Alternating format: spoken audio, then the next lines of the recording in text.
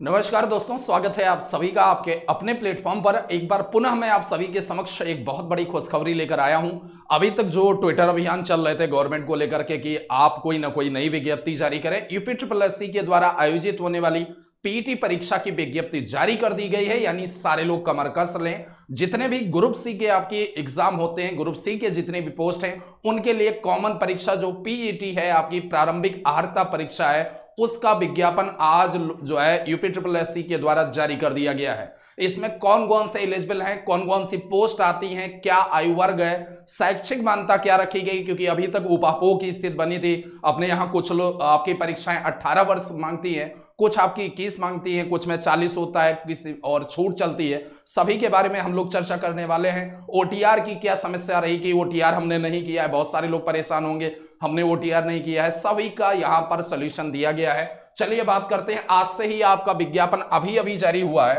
और आज से ही आपका फॉर्म ये भरना शुरू हो चुका है। यानी आप सारे लोग अप्लाई कर सकते हैं और यह पहला विज्ञापन आपका अधीनस्थ का एक बटे 2021 का है। और इसमें अगर बात किया जाए कि आपका ऑनलाइन रजिस्ट्रेशन कब से शुरू हो रहा है तो 25 पाँच से प्रारंभ हो रहा है और अंत जो है, शुल्क आपके जमा करने की जो प्रारंभ होने की तिथि है, आज से ही आप फाइनल भी कर सकते हो।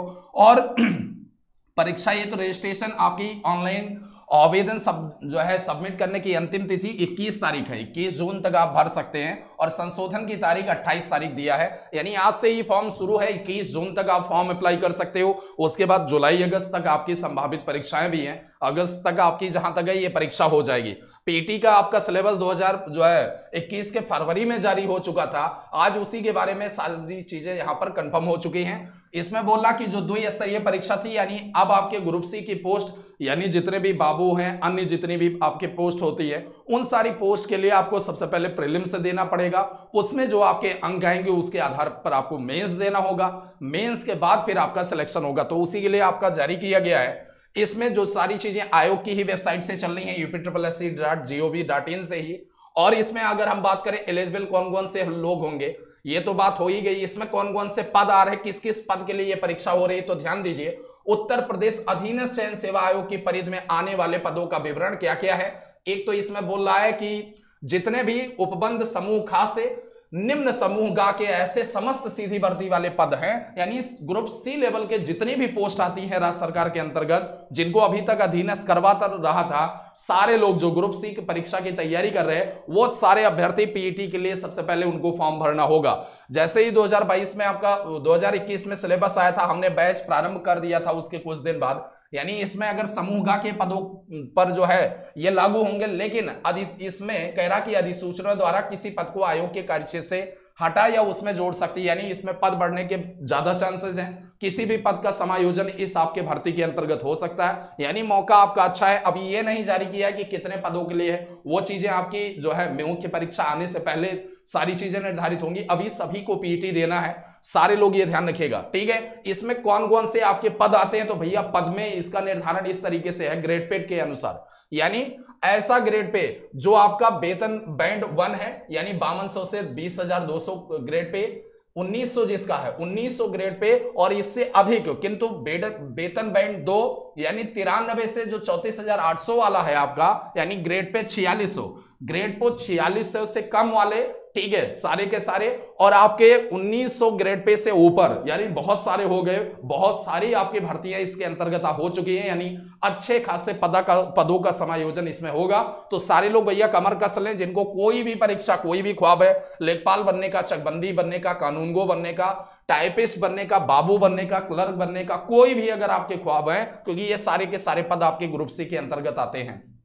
बात करते हैं शैक्षिक आर्ता की तो देखो अपने यहाँ प्रारंभिक स्तर इसमें जो मांगा है, जो लोग हाई स्कूल पास हैं या इसके समकक्ष या इससे उच्च डिग्री वाले हैं, ठीक है? अभी तक चल रहा था कि ग्रेजुएशन वालों का अलग निकलेगा, फिर जो है हाई स्कूल वालों का अलग निकलेगा इंटरमीडिएट का अलग निकलेगा, सब कुछ कॉमन कर दिया मतलब सभी लोगों को फॉर्म भरना है, सभी लोगों को ये क्वालिफाई करना है, ठीक है? और फॉर्म भरने की अंतिम तिथि से पूर्व हाई स्कूल या समकक्ष या उससे उच्च अर्हता धारित कर ली गई हो, वो सभी लोग प्रारंभिक परीक्षा हेतु आवेदन कर सकते हैं। और इसमें अभी तक ओटीआर आ चुका था। ठीक है, सभी लोगों को ओटीआर भरना था, लेकिन ध्यान दीजिए, इसमें एक व्यवस्था यह भी की है कि जैसे बहुत सारे पद होते थे जिसमें आपका केवल और केवल फ़िज़िकल स्टैंडर्ड माँगता है, उन पदों के लिए इसने कहा है कि जो वो पद हैं, उनके लिए प्रारंभिक अर्हता परीक्षा यानी दी हो, उसके द्वारा ऑनलाइन आवेदन किया जाएगा। इनमें से प्रारंभिक अर्हता परीक्षा के स्कोर के आधार पर ही शॉर्टलिस्ट किए गए अभ्यर्थियों को यथा आवश्यक मुख्य परीक्षा या कौशल परीक्षा या शारीरिक परीक्षा आदि का आयोजन कराया जाएगा। यानी प्रीलिम्स में जो स्कोर होगा,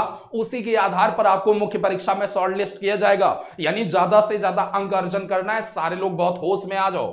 आगे इसमें क्या कह रहा है कि हाई स्कूल अथवा इसके समकक्ष से कम अनिवार्य अर्हता जैसे आठवीं मांग लिया, दसवीं मांग लिया, ऐसी अगर कोई भी पोस्ट के लिए आपकी आती हैं तो उनके लिए यह बोला है कि आयोग के परिधि में अगर वो हैं तो उनका अधियाचन प्राप्त होता तो उनके संबंध में आयोग के निर्णय के अनुसार परीक्षा या कौशल परीक्षा, शारीरिक परीक्षा आयोजित की जाएगी, जिसकी सूचना आपको दी जाएगी। इस श्रेणी हेतु तो अभ्यर्थियों को पीईटी परीक्षा में सम्मिलित होने की बाध्यता नहीं है, जो केवल कक्षा आठ पास है या कक्षा दस पास है, ठीक है? उनको अगर ऊपर की नौकरियाँ नहीं देखनी है, नीचे की ही नौकरी देनी है तो उसमें पीटी में आप शामिल हो या ना शामिल हो, सारे लोग उसके लिए एलिजिबल होंगे, इस बात को ध्यान रखिएगा।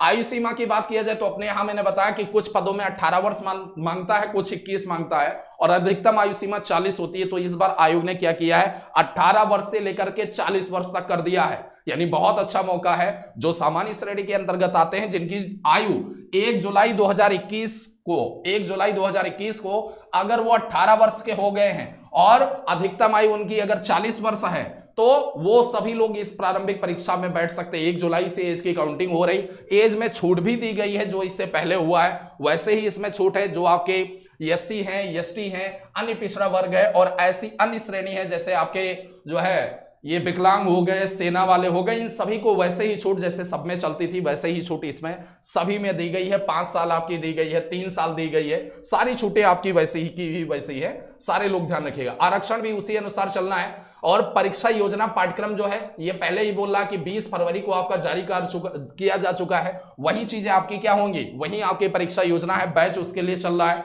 जो अगला आज से ही आपका विज्ञापन जारी हुआ, नया बैच हम प्रारंभ कर रहे हैं। हैवी डिस्काउंट आपको दे रहे हैं। पहले जो चल रहा है, उस पर हम अब डिस्काउंट को बढ़ा रहे हैं। आप सारे लोग जो है फटाफट एडमिशन ले सकते हैं। पूरी नोट्स दे सकते हैं। हम आपको पूरी नोट्स दे रहे हैं टेस्ट सीरीज़ दे रहे हैं वीडियो लेक्चर्स दे रहे हैं, सब कुछ उपलब्ध करा रहे हैं। बात करते हैं आगे। परीक्षा की तिथि प्रारंभिक आर्थिक परीक्षा 2021 की तिथि से आयोग की वेबसाइट के माध्यम से यथा समय सूचित होगी। यानी जुलाई, अगस्त में परीक्षा हो सकती है, ऐसे इसके आसार हैं। और इसमें अगर बात कर दिया जाए कि स्कोर इसका वैलिड कितने दिन है तो जब आपका रिज़ल्ट जिस दिन वेबसाइट पर आ गया, उस दिन से एक साल तक वैलिडिटी उस रिज़ल्ट की होगी। उस एक वर्ष के भीतर कोई भी परीक्षा अगर आयोजित होती है मेंस की, उस सभी परीक्षा में आप अपने स्कोर के हिसाब से फॉर्म अप्लाई कर पाएँगे। तो यानी प्रीलिम्स में स्कोर बहुत ज़रूरी है। सौ नंबर का प्रीलिम्स है तो आपके समक्ष भैया बहुत बड़ी चुनौती है, क्योंकि प्रतियोगिता गला काट हो चुकी है, सारी नोट्स है, सब कुछ टेस्ट सीरीज़ है, वीडियो लेक्चर्स है, सब कुछ आपको हम उपलब्ध करा रहे हैं सबसे और आपके न्यूनतम शुल्क के तौर पर। ठीक है? आवेदन कैसे करना है, वहीं आपकी वेबसाइट पर जाना है, वहाँ से आपका आवेदन होना है, सारी चीज़ें करनी है। ठीक है? यूपी ट्रिपल एस की वेबसाइट पर जाना है, फ़ोटो वगैरह सब कुछ दिया हुआ है। ठीक है? फ़ीस जो है एक सौ रुपए जनरल के लिए अन्य लोगों के लिए ऐसे ही है। एक जनरल के लिए ओबीसी के लिए एक सौ पचासी, अनुसूचित जाति के लिए पंचानवे और अनुसूचित जनजाति के लिए विकलांगजन हित पच्चीस रुपए रखा गया है। ये सारी चीज़ें आपको करनी है वहाँ से। तो आज से सारे लोग भैया तैयार हो जाए। इसमें जो आपका सिलेबस दिया है, वो सारे के सारे सिलेबस आपके पहले से ही है। सिलेबस के बारे में मैंने पहले ही बताया कि सब कुछ आपका चल रहा है। ठीक है, पूरी की पूरी चीज़ें पहले से ही हम आपको चला रहे सिलेबस ये आपका है, उसकी जो है सौ अंक का पूर्णांक होगा। सौ क्वेश्चन आपसे पूछे जाएँगे, दो घंटे का पेपर है। एक बटे चार निगेटिव मार्किंग है, ये भी ध्यान रखिएगा। एक बटे चार आपका निगेटिव मार्किंग है, अगर गलत की इसीलिए जो कुछ आपका सिलेबस दिया जा रहा है, जैसे ये हिस्ट्री है हिस्ट्री में जितने भी आपके पॉइंट दिए हैं, ठीक है, इनसे पाँच नंबर पूछा जाएगा। ऐसे आपका भारतीय राष्ट्रीय आंदोलन से पाँच नंबर के क्वेश्चन आएँगे, पाँच सवाल आएँगे। फिर भूगोल से पाँच क्वेश्चन पूछा जाना है, भारतीय अर्थव्यवस्था से पाँच क्वेश्चन पूछा जाना है, ठीक है? ऐसे ही इंडियन कॉन्स्टिट्यूशन से पाँच क्वेश्चन आएँगे, सामान्य विज्ञान से तीनों पोर्शन मिलाकर पाँच क्वेश्चन होंगे, प्रारंभिक अंकगणित से पाँच क्वेश्चन होंगे, सामान्य हिंदी के पाँच सवाल होंगे, ठीक है? व्याकरण से, उसके बाद फिर आपका इसी में अंग्रेज़ी से पाँच सवाल पूछे जाएँगे, यानी अंग्रेज़ी आना है रीजनिंग से पाँच क्वेश्चन है करेंट के आपके दस सवाल है? सामान्य जागरूकता, यानी जी आपका अलग है, दस सवाल इसमें भी आपके आए हैं। पूरे पॉइंट दे रखा है मतलब क्या क्या पढ़ना है। इसीलिए हम आपको पूरा का पूरा ये जितने पॉइंट है, सभी की सॉर्ट आउट नोट्स दे रहे हैं। सीधा की सीधा आपको प्रिंट आउट लेना है, सीधा उठा के पढ़ना शुरू कर देना है। लेक्चर्स आपको उपलब्ध करा रहे हैं। आप पठित गद्यांश आपके दस को, जो है, दो पैराग्राफ आएँगे दस मार्क्स के। यानी बहुत अच्छी तरीके से दिया है। इसमें हम आपका बैच प्रारंभ हो चुका है। सारे लोग जो है अभी जो चाहे फटाफट एडमिशन लेना प्रारंभ कर दे। हमारा जो ऐप है, वो गूगल प्ले स्टोर पर आपका उपलब्ध है। वहाँ से सारे लोग आज इस न्यू बैच में एडमिशन ले सकते हैं। ठीक है, इसमें आपको सारी की सारी विषयों की वीडियो क्लासेज उपलब्ध करा रहे बुकलेट नोट्स आपका पूरा का पूरा दे रहे आपको 50 प्लस प्रैक्टिस टेस्ट उपलब्ध कराएँगे, सारी चीज़ें हैं, ठीक है? 10 फुल लेंथ की टेस्ट सीरीज़ है प्रैक्टिस सेट अलग है टेस्ट सीरीज़ आपकी अलग है टेस्ट की व्याख्यात्मक हल्की पीडीएफ मिलती है, सारी की सारी चीज़ें आपको अच्छा मार्गदर्शन मिलता है, ठीक है? हर सप्ताह आप सभी की काउंसलिंग की जाती है जूम ऐप के माध्यम से या आप सभी को ऑनलाइन जोड़ा जाता है सारी व्यवस्थाएँ, आपकी कोई समस्या है तो आप जो है वहाँ पर रख सकते हैं। आपको सब कुछ लगभग 50 प्लस टेस्ट 200 प्लस क्लासेज और 300 प्लस पीडीएफ दी जा रही है। अगर आपको कोई भी समस्या होती है तो आप संस्थान के दिए गए नंबर पर कॉल कर सकते हैं। Nine one two nine six nine seven zero eight zero या फिर आपका nine four five triple zero six double zero seven पर आप कॉल के माध्यम से भी जानकारी प्राप्त कर सकते हैं। ये आपके नोट्स है जो आपको हम उपलब्ध करा रहे जितने भी विषय हैं, जितने भी बिंदु हैं, सभी के सभी एक एक बहुत सटीक तरीके से, बहुत अच्छी तरीके से पूरे नोट्स है। भारतीय अर्थव्यवस्था हो गई, सामान्य जागरूकता हो गई, सारे के सारे नोट्स आपको उपलब्ध कराए जा रहे हैं। यानी आपको सिलेबस नहीं ढूंढना है, सीधा कोर्स से जुड़ना है और कोर्स में जोड़ने के बाद आपको क्या करना है? कोर्स में जोड़ने के लिए आप Pariksha plus app Google Play Store से डाउनलोड करिए रजिस्टर करिए, वहाँ से सीधा ऑनलाइन कोर्स में जाइए। अभी तक कोर्स आपका नौ सौ निन्यानवे का था, इस समय आपका 60 परसेंट डिस्काउंट है।